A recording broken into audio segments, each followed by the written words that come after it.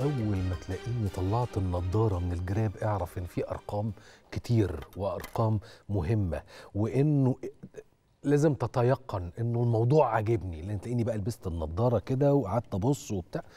بص يا سيدي.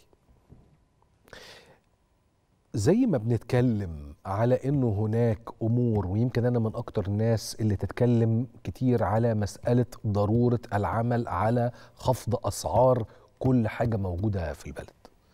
زي ما كمان لا أستطيع أن أغفل على الإطلاق إنه في مشروع عظيم عظيم اسمه القضاء على العشوائيات وهنا عايز أخد حضرتك معايا ونبدأ نتابع مع بعض اللي نشروا المركز الإعلامي لمجلس الوزراء مشكورين جدا بصراحة إنه من ضمن المشروعات اللي تهمني أنا حتى بشكل شخصي جدا جدا جدا نظرا لإنحيازاتي الفكرية والاقتصادية والاجتماعية. المركز الإعلامي عامل لنا تقرير اللي هو التقريرات التقارير المعلوماتية أو ما يطلق عليه الإنفوجراف. ماشي؟ التقرير ده بيتكلم عن إيه بيتكلم على تسليط الضوء على تجربة مصرية الحقيقة استثنائية في القضاء على العشوائيات لأنها في مدة وجيزة العشوائيات دي وليدة عشرات السنين فلما تعمل الإنجاز ده في أقل من تسع سنوات لأنه مثلا القضاء على العشوائيات الخطرة حصل في خلال 8 سنوات كنا خلصنا عليها يعني 22 كنا خلصنا. تعالى أوري لك الحقيقة المركز الإعلامي مشكورا قايل لنا إيه. الأول هم سبع صفحات هاخدهم لك مش بسرعة قوي ومش بالراحة قوي يعني عشان بس نقدر نستوعبه التجربة المصرية الاستثنائية في القضاء على العشوائيات لضمان حق المواطن في حياة آمنة. أولا وكريمة حصل تغيير إيجابي يعني مثلا في 2010 اليو إن دي بي اللي هو التقرير تقرير التنمية البشرية والصادر عن الأمم المتحدة كانوا بيقولوا إيه؟ قال لك تفتقد المناطق العشوائية لأدنى معايير أدنى خد بالك تفتقد لأدنى اللي هو ما فيش أقل من كده في معايير التنظيم والأمن وده أدى لانتشار الجريمة والمخدرات وارتفاع أعداد سكان العشوائيات في القاهرة إلى تدني مستوى التعليم بشكل خاص كمان. حلو؟ طيب في 2011 الكلام ده 2010 حدش يجي يقول لي أصل 2010 يا سلام على البهجة اللي كنا عايشين فيها ده. ده كلام المؤسسة الدولية بص سنة 11 قال لك تعاني المناطق العشوائية والمناطق الريفية البعيدة والمحرومة في مصر. خد بالك من كلمة المحرومة لأنها كانت محرومة من كافة الخدمات الأساسية. مش هقول لك غير الأساسية الأساسية مفيش. من مشكلات عديدة تدهور الصحة العامة المياه الملوثة أنظمة الصرف الصحي مش موجودة غياب المساواة في الرعاية الصحية نقص القدرات اللازمة لتوفيرها. اتكلموا كمان في نفس السنة على المناطق العشوائية اللي موجودة في مصر بأنها مصنفة كمناطق غير آمنة. ده تصنيفهم هم قالوا كل المناطق العشوائية غير آمنة لأنها تشك لما تشكل من مخاطر بيئية وصحية. ده وفقا للإحصاءات. في 2011 قالوا إنه عدد سكان العشوائيات في القاهرة الكبرى بس. القاهرة الكبرى اللي هي محافظة القاهرة محافظة الجيزة محافظة القليوبية. في 2011 صدر هذا التقرير وقالوا إنه سنة 2000 ده الإحصاء اللي عملوه سنة 2000 كانوا 8.3 من عشرة مليون يعني 8 مليون و300 ألف نسمة أمال كانوا وصلوا لكام في 2011 يا جدعان؟ بص بقى في 21 قال لك إيه؟ تجسد ده كلام تاني تقرير التنمية البشرية الصادر عن الأمم المتحدة سنة 21 قالوا إيه؟ قالوا تجسد اهتمام القيادة المصرية بملف تطوير العشوائيات باعتباره أحد أهم الأولويات وتم افتتاح عدد من المشروعات. يجي على رأسها بشاير الخير.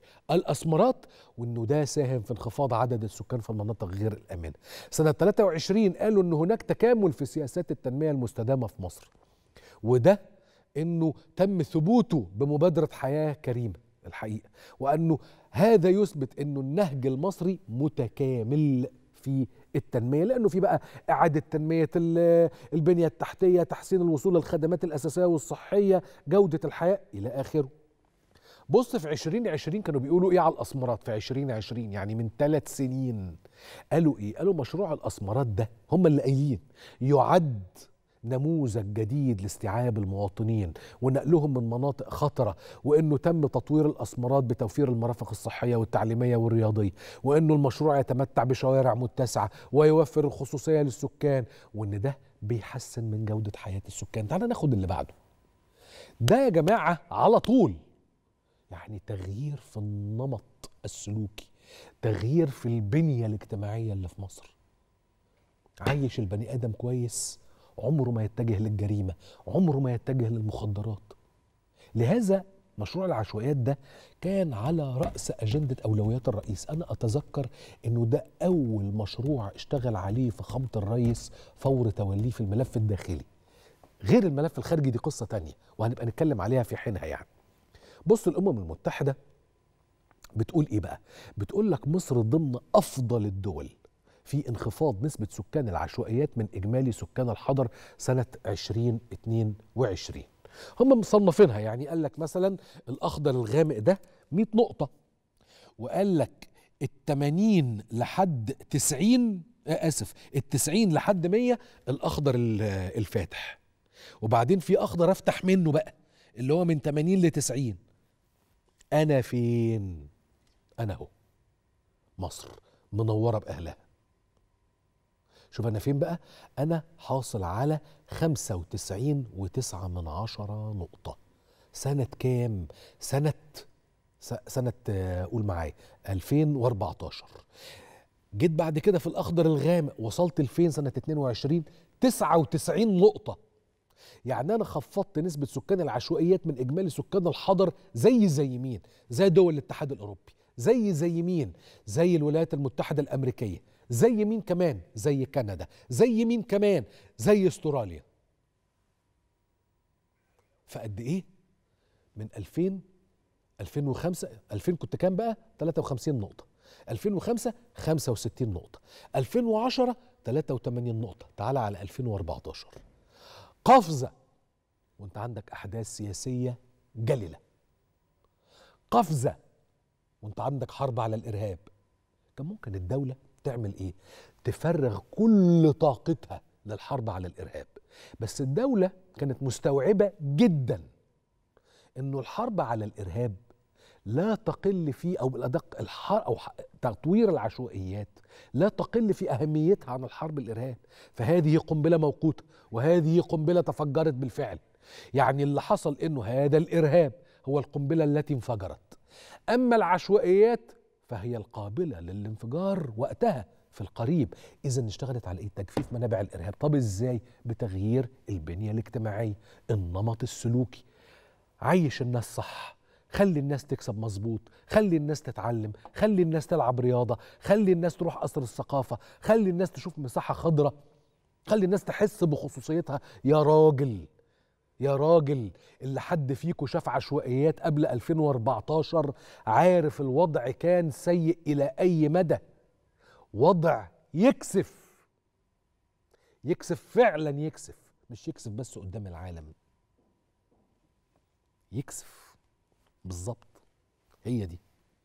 طيب شوف بقى. تخيل بقينا 99 نقطة. أنا زي زي دول العالم الأول.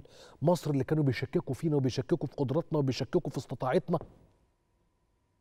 بقيت زي زي دول العالم الأول في القضاء على العشوائيات.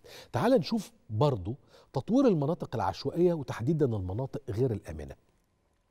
علشان أطور المناطق غير الآمنة تكلفت 63 مليار جنيه. الله! طيب. أنا كان عندي كم منطقة غير آمنة. خد بالك في حاجة اسمها المناطق غير الآمنة وحاجة اسمها العشوائيات غير المخطط ليها. طيب بص يا سيدي 357 منطقة عشوائية غير آمنة. استفاد معايا كم واحد؟ مليون واتنين من عشرة مستفيد يعني مليون ومتين ألف بني آدم. التكلفة كانت 63 مليار. فدى المصريين عشان يعيشوا حلو.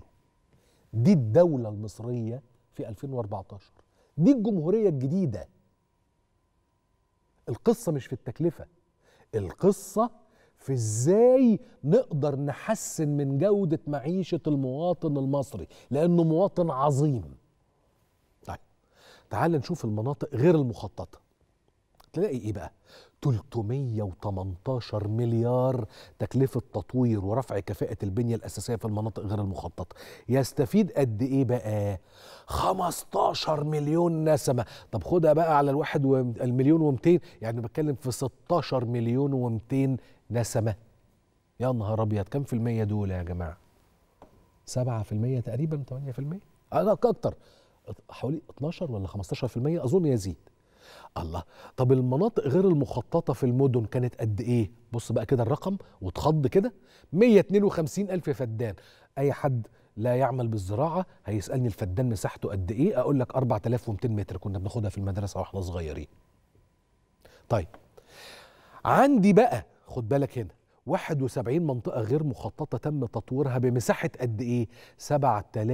7108 فدان. كانوا بيخدموا قد إيه؟ 108 من 10 مليون نسمة يعني مليون و800 زود على 16 200 أدي كده أنت وصلت ل 18 89 منطقة غير مخططة جاري تطويرها. خد بالك جاري تطويرها. يعني ده في أهو 71 منطقة بيتم تطويرهم دلوقتي. 89 منطقة غير مخططة.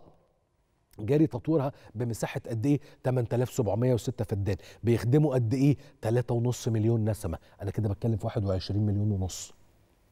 مصر تعلن خلوها من المناطق العشوائية غير المخططة بإذن ربنا سبحانه وتعالى في 2030 هل المسألة بس متعلقة بالسكن؟ ولا كمان متعلقة بالأسواق العشوائية؟ الأسواق العشوائية يعني يلا مطرح ما تلاقي في حتة افرش يا جدع واعمل اللي انت عايزه ومش فارق أي حاجة في الدنيا. الناس غلابة. طب أنا لازم أساعد الناس الغلابة. فأعمل إيه؟ الدولة تصرف 44 مليار جنيه تكلفة تطوير الأسواق العشوائية. 1105 سوق هي إجمالي الأسواق العشوائية. فيها قد إيه بقى وحدة كم وحدة بيع؟ 306300 وحدة بيع. عندي بقى كمان 36 سوق بيتم أو تم تطويرها بالفعل كانت بتشمل أكتر من 5000 وحدة. التكلفة كانت 138.4 من عشرة مليون جنيه مصري. تعال نكمل. آه والله ده ده ده احصائيات عظيمة دي بصراحة. عظيمة. آه نمرة أربعة. بص يا سيدي بقى التوزيع الجغرافي للمناطق العشوائية غير الآمنة اللي تم التعامل معاها. أقول لك الآتي. طبعا هنا لازم أرتدي النضارة لأنه حتى الشاشة دي بقت بعيدة عليا. آه والله تخيلوا. أنا وصلت المرحلة دي يا جماعة. لقد بلغت من العمر أرزل آه آه. بص يا سيدي. القاهرة 54 منطقة.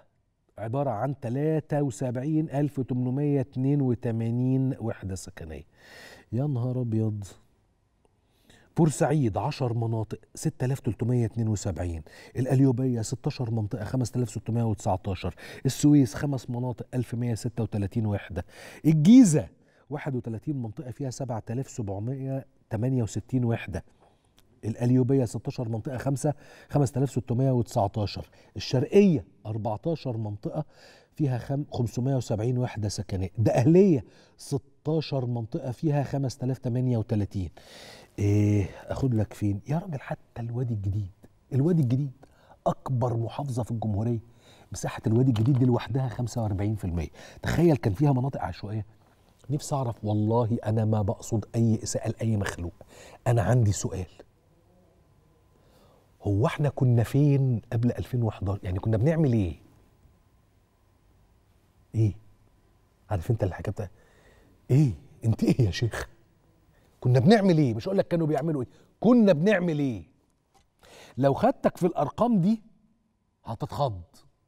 كل ما ارجوه إنك تشوف قدامك على الشاشة بعد إذنك شايف كل هذه الأسهم.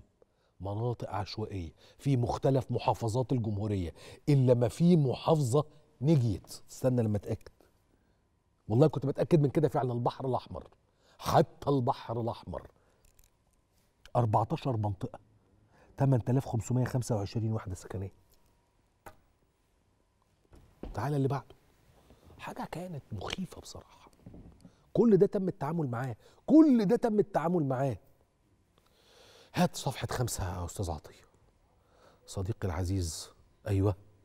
أبرز خد بالك اللي أنت هتشوفه دلوقتي ده ده أبرز المشروعات. دي مش كل المشروعات دي أبرز المشروعات اللي تم تنفيذها في المناطق غير الأمنة تحديدا. بشاير الخير 75600 مستفيد 15100 وحدة سكنية 710 محل تجاري 7 مليار تكلفة المشروع. ده بشاير الخير. تعالى مولانا. الأسمرات. يا دين أنا بحب الأسمرات دي قوي. يا دين النبي والله العظيم. 91400 مستفيد 18300 وحدة سكنية 350 محل تجاري 4.6 من عشرة مليار. المحروسة واحد واثنين طبعا بقول لك على الأسمارت واحد اتنين تلاتة وبشار الخير واحد اتنين تلاتة. شوف بقى المحروسة واحد واثنين 24500 مستفيد. 4000 آه آه 4900 واحد. 880 مليون جنيه تكلفة. 129 في محل تجاري. التجمع السكني معا. عشرين ألف مستفيد. أربعة أربعة آلاف وربعمائة وحدة سكنية.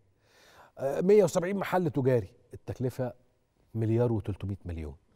أهالينا واحد واثنين. 12500 مستفيد.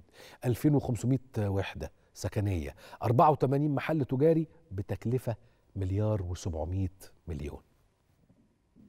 ده ما يتقالش عليه برافو. يا سيدي مش عايزين برافو. عايزين بس نبقى فاهمين. يعني دايما يسألوني يا أصدقائي الأعزاء آه يعني اللي بيشوفوني يعني أصدقائي بقى اللي أنا أعرفهم يعني. إيه الس... أقول له يا عم لازم الحاجة دي تتعرض عشان الناس تبقى فاهمة. علشان العبث بالأدمغة ليس إل... يا ترى إيه اللي حصل في مصر؟ ادي اللي حصل في مصر يا مولانا؟ عشان لما أنا جيت لك قلت لك من كام يوم كده ولا كان الأسبوع اللي فات قلت لك أكتر ناس أكتر ناس حاسة إنه في تغيير إيجابي ناس الغلابة بتوع العشوائيات تحديدا. عشان هم دول اللي لمسوا وشافوا وعرفوا إنه في تغيير وإنه في دولة مش بس شايفاهم أصل ممكن نبقى شايفينهم ومطنشين لأ! إحنا شايفين وبنشتغل. شوف يا سيدي في السريع. أبرز مشروعات تطوير المناطق غير المخططة اللي تم التعامل معها. في 31 منطقة غير مخططة في محافظة القاهرة تم تطويرهم. التكلفة تعدت ال 350 مليون. عارف كم مستفيد؟ مليون و300 طيب 14 منطقة في محافظة الجيزة. التكلفة 148 مليون. كم مستفيد؟ 333400 الله. والغربية. الله. ده كل دي كده أمثلة. اسكندرية خمس مناطق تم التعامل معاها. أكتر من نص مليون مستفيد. أنت عارف المساحة كانت قد إيه في اسكندرية؟ 1440 فدان. اضرب أنت بقى في 4200 متر تعرف المساحة المربعة بالمتر المربع كان كام. وإيه؟ حياة غير آدمية كانت. طيب شوف مثلا في المنوفية. ثلاث مناطق. الأفدنة كانت 1287 كم واحد استفاد؟ تقريبا حوالي 200 ألف 197 ألف و500 طيب في كم تكلفة؟ 300 مليون جنيه تكلفة. تعال ناخد الصفحة الأخيرة. خلاصات زي ما يتقال كده في في الكتب.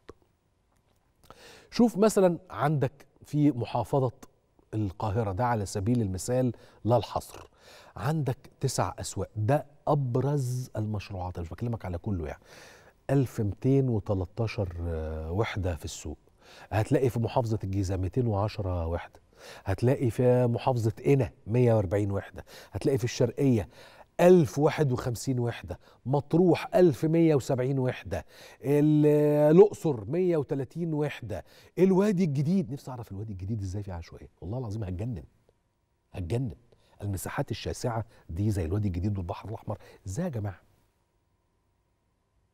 هي الدولة كانت زمان نايمة. على كل حضرتك شفت قدامك اللي كان بيحصل في مصر؟ في ملف واحد نراه واحد من أهم الملفات وهو ملف القضاء على العشوائيات سواء إذا كانت عشوائيات خطرة أو عشوائيات غير مخطط ليها. العشوائيات يا سادة يا كرام لو كانت فضلت متروكة من 2014 وما لمسناهاش انسى قصة القضاء على الإرهاب في مصر. انسى قصة خفض معدل الجريمة في مصر. انسى قصة خفض معدل تعاطي المخدرات أو تجارتها انسى قصة أي شيء إيجابي إحنا بنتكلم على مواطن مصري لا يحصل على أدنى حق من حقوقه كمخلوق بشري عايش جوه دولة ما. دولة ما. ترك الملف في ظني وكان يغذى لسبب أجهله أو لا أجهله. سيبك مني. لكن ترك الملف فكبر الملف وسمن وكلبز وبقى كارثة. أي عاقل يسمح بده كان. لما مصر اتحركت اتحركت على كل المستويات. أكتر حاجة من الحاجات اللي أنا فعلا أقدرها بجد والله العظيم الملف ده.